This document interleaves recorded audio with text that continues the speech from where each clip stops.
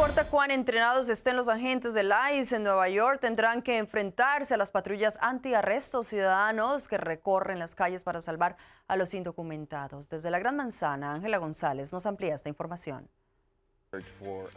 Mientras un equipo de respuesta especial de ICE recibe entrenamiento militar para cazar inmigrantes, uh,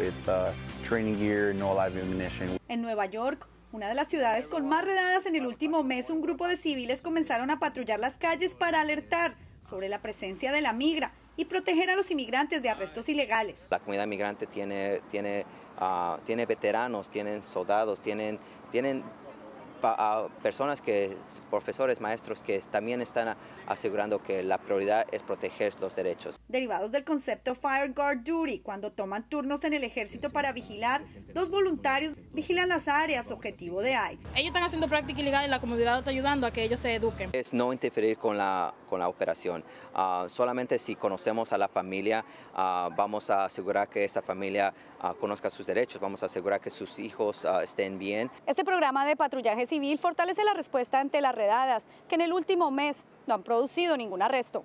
Desde Nueva York, Ángela González, Noticiero Cierre de Edición.